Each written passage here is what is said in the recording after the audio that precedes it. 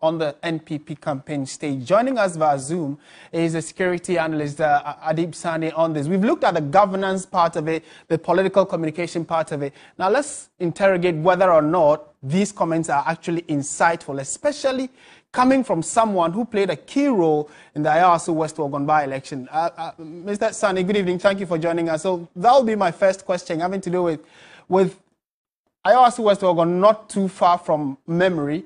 Are these comments insightful enough to revoke those kinds of memories?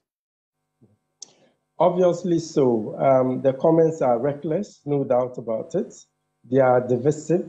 Um, it is incendiary and um, it is polarizing and has the potential of undermining the peace and security of the country. And I speak as a conflict and mediation expert as well, because I do know that it is as a result of such comments we had the Capitol riots in Washington. It is because of similar comments there was uh, Kenya became a battleground between the ODM and the PNU in 2007 after that election it is because of similar comments. Um, Ivory Coast descended into chaos and a civil war between 2010 and 2011.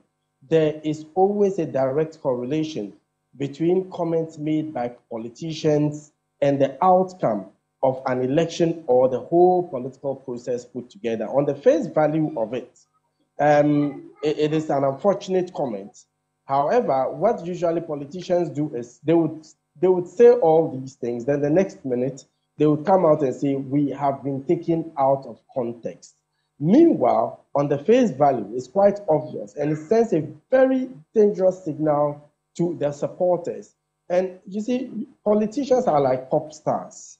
Um, they garner some level of support, they inspire people. And so, whatever they say, they, they, they, they are seen more like prophets. Whatever they say has an effect on the thought processes and behavioral pattern of people they inspire. So when you talk like this on a political platform, mm. you send the wrong message. And when the people go out there and cause mayhem, mm. you are definitely to blame. Right, and, and on, the, on the back of that, there are those who are even suggesting that uh, with the security apparatus at the disposal of government, it is easy for the likes of Bryan Acheampong to make such comments and actually mean it because, like they say, if a blind man wants to, uh, threatens to stone you, it means his leg is on something. Already. Absolutely, absolutely. And uh, that I find quite unfortunate. And it boils down to the lack of accountability in this country. Um, Ayawaso West Wuogon was a national disgrace. Um, it went to the diplomatic community, it made international um, um, news. Um, a body was put together to look into it. They came out with their recommendations, and government completely, so to speak, rubbished it. And the same old people behind it are still accused and are even promoted. So what are you trying to imply? Mm. You know, you're trying to paint a certain picture. I mean, you can do as you wish so far as your government is in power and get away with it. Do you think Double and Co are not on the job? For anyone to think that they are no longer on the job, then the person might have to rethink. Mm. Because this is Ghana. There's no accountability in this country. People do as they wish.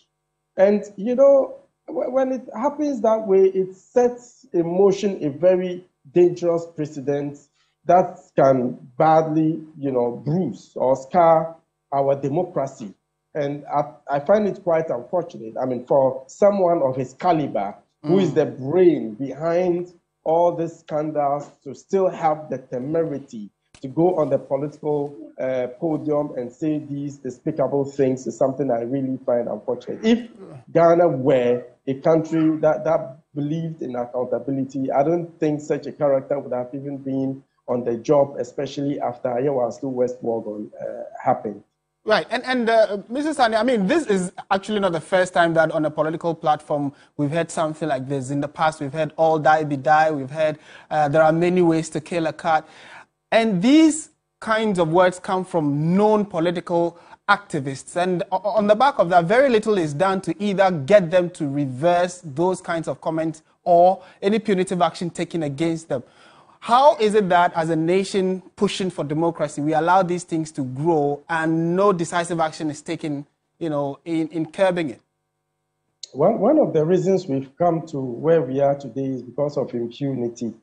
Um, and I must say, without mincing words, um, that it cuts across the political divide. Um, mm. we, we have people from uh, both the NDC and the NPP uh, saying things that undermine state authority, it undermines state institutions, and it sends uh, wrong signals to uh, their followers. But nobody has been held to account. The only one I remember is the Afghan and the Mugabe incident. Right.